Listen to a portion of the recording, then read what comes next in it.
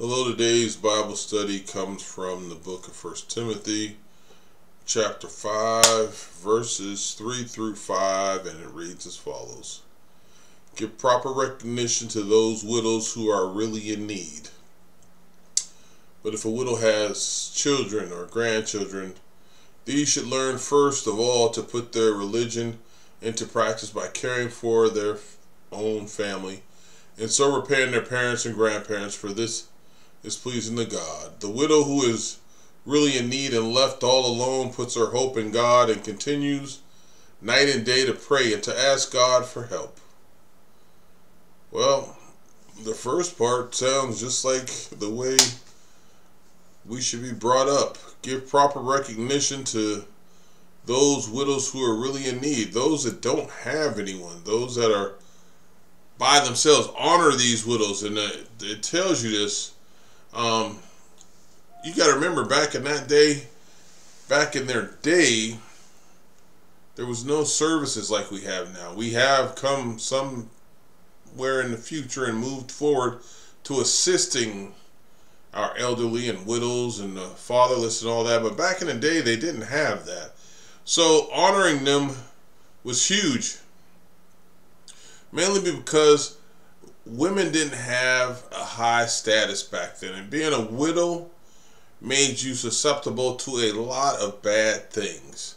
Um, and if they didn't have the support of their husband who was deceased, and they didn't have any children at all, and they couldn't work, mm, um, these were women who were subject to be without. And they're saying honor these people. They are really the widows. They are really the ones that are in need, and we should help them. And as Paul explains this in Timothy, he says these are really widows. And the, the ones that were, they were to be honored. But then he goes on further and he says, But if any widow has children or grandchildren, let them first learn to show piety at home and to repay their parents. See, now there here's a situation. You have someone that can care for you.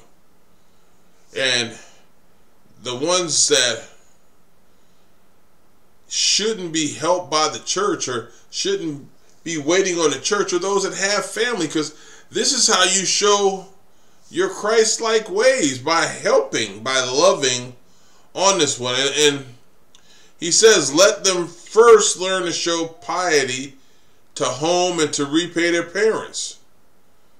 And this is just our responsibility, he says.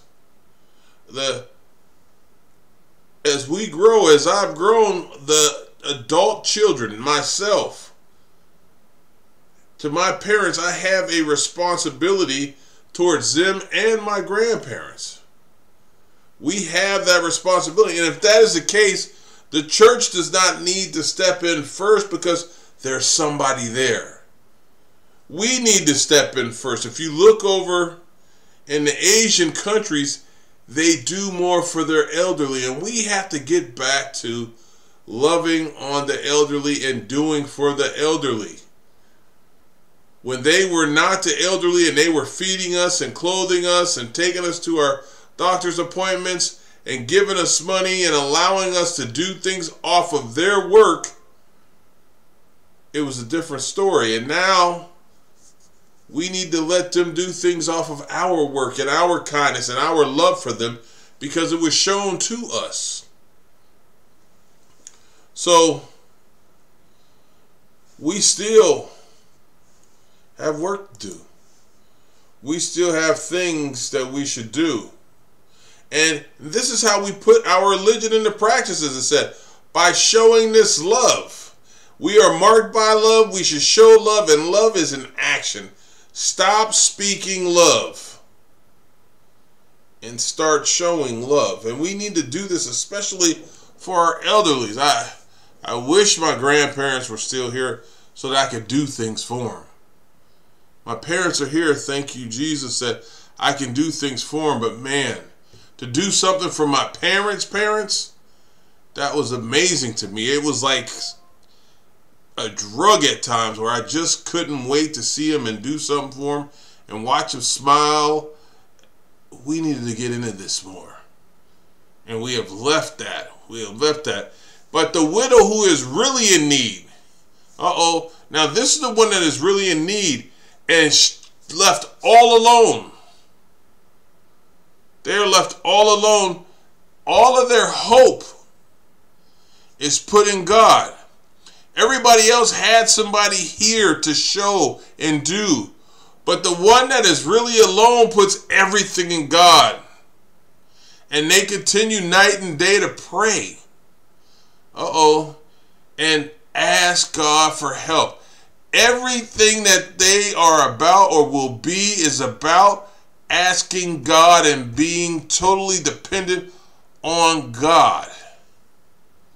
God has servants for the other ones that do some of the work, but they that are totally without have no vessels for the Lord to use per se, so they depend totally on God to provide a vessel.